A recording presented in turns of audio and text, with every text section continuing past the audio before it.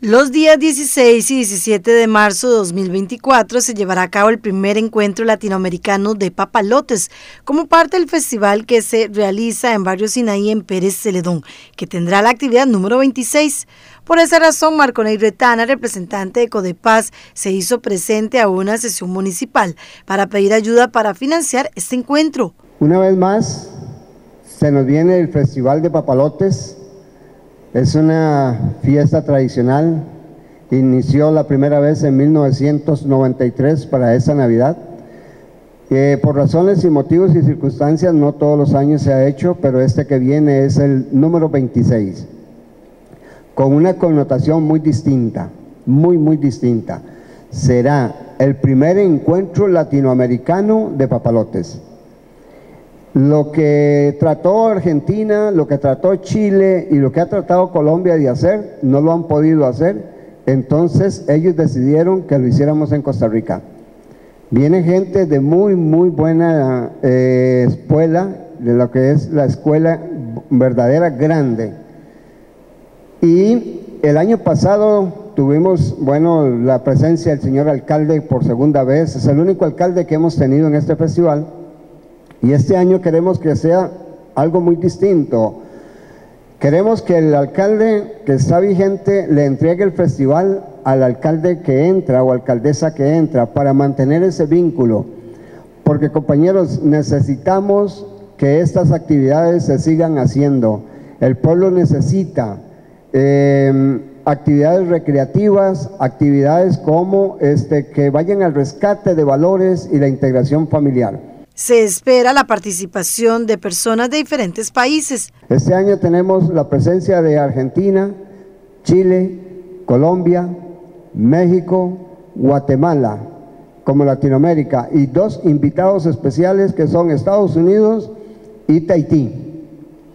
Gente que tuve la dicha el año pasado de compartir con ellos, con la mayoría en la India, y este año Codepaz, el, el comité organizador de Papalotes, representará una vez más a Costa Rica para la primer quincena de marzo. Eso es algo muy, muy lindo para nosotros, tener la dicha de llevar la bandera y subirla en los cielos de este otro lado del mundo. Precisa que requieren alrededor de 3 millones y medio de colones para todos los gastos que conlleva esta actividad. Ocupamos una fuerte suma de dinero para nosotros y no mucha para algunos. Son 2 millones y medio de colones lo que se necesitan para realizarlo, para distribuirlo entre tiquetes aéreos, hospedaje, alimentación, transporte del aeropuerto acá y de regreso para allá y darles algún tour. Si alguien quiere ver una actividad tan linda como esta desde un punto de vista comercial, sí lo tiene. Le vamos a dar de comer a un bucetero, le vamos a dar de comer a un hotel, a una soda, alguien que nos dé la alimentación y sucesivamente los que venden eh, papalotes, la pulpería vende más refrescos ese día, eh, la venta de pollo que hay en Sinaí vende más ese día. Eh, hay muchas cosas que venden, inclusive las personas que se arriban a la orilla de la plaza a vender, se aprovecha. O sea, veámoslo desde un punto de vista, rescate de valores, integración familiar y comercial. Tiene todo lo que ocupamos. Ese evento no tiene distinción política, no tiene distinción de religión, ningún credo, ni diferencia alguna de sexo o orientación de ninguna especie. Participan los niños de cero años en adelante, porque los llevan en brazos y participan las madres con el niño alzado, hasta el adulto mayor que quiera participar. Este año son dos días cargados de actividades. El sábado 16 de marzo habrá una noche con papalotes con luces y el domingo 17 de marzo la gran actividad. Con humildad les digo lo que ocupamos. El año pasado nos, nos otorgó la municipalidad basureros, vallas, toldos y mm, hasta seguridad.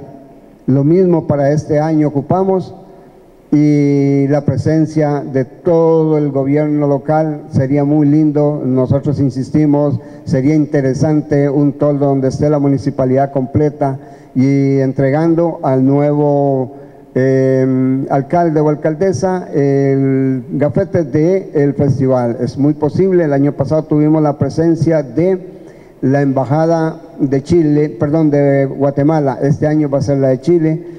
En la universidad el día viernes vamos a tener una exposición de arte de ellos, de papalotes.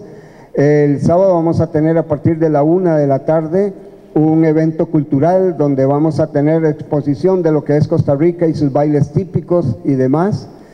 Y vuelos nocturnos. Esta noche vamos a volar papalotes con luces. Y el domingo, el tradicional festival, iniciando como siempre, 9 de la mañana, con la participación de los pequeños. Y este, terminando tarde-noche con nuestros invitados. Entonces esta es la idea, lo que les traigo, lo que les recuerdo y confío y estoy plenamente confiado de ustedes que van a verlo con buenos ojos y nos van a echar la mano que tanto necesitamos que el cantón tanto ocupa.